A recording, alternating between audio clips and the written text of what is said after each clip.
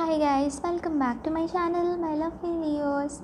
So this is going to be your daily reading leos for your general energies and also for your love energies leos. Let us see what's coming up for your general energies guys after moving on to your love energies. What is coming up for your general energies leos? What is coming up for your general energies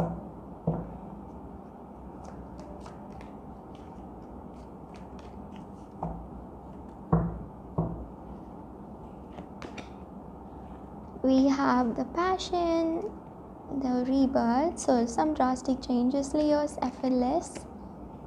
We have the vigilance so what i'm getting here vigilance what i'm getting here is that with the effortless card guys things may be flowing. You don't you're not putting in any kind of effort into it. Things are going as like with the flow you're just going with the flow or you're uh, drawn to certain things and you're working on your kind of like focused on going with the flow guys is what i'm getting here. You know certain things are hard to manifest and you know certain things are easy for you to manifest and therefore somehow like you guys are changing a lot. Leos i see that you've changed a lot with time or it can be also like the person's the reason for your change. It can be that way for some of you but there's definitely a lot of change going on in your environment guys. And you might be getting a little bit taken away with this energy. You might be a little bit irritated with this energy but things are usually turning out the way you wanted it to turn out so that kind of a positive energy is definitely there guys my lovely.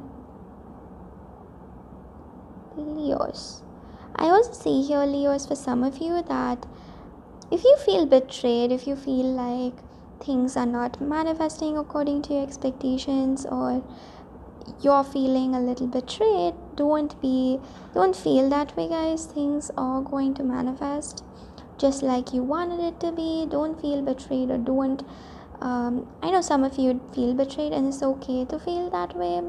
Just just try coming out of that energy. Even if you can't you can just try and see how everything manifests into a physical reality guys okay? So i hope you got the overall energies my lovely leos let us see what's coming up for your love energies leos what is coming up for your love energies guys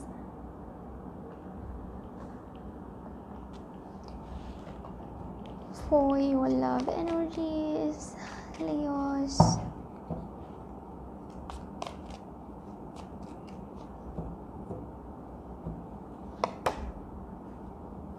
We have the Hierophant, we have the Empress, the King of Swords, and we also have the Princess of Swords, guys. Okay, so Leos, you don't have to wait anymore for this person. For some of you, I see here that you've been waiting for this person to apologize, or it can definitely be like you're waiting for this person, guys. It doesn't have to be an apology that you're waiting for, but you're definitely waiting for this person. But I see that if you if you're this person is waiting, you should kind of like stop waiting because if you keep keep waiting and if you think that everything will be all right and if you stay in this energy this person they're just going to take advantage of your situation.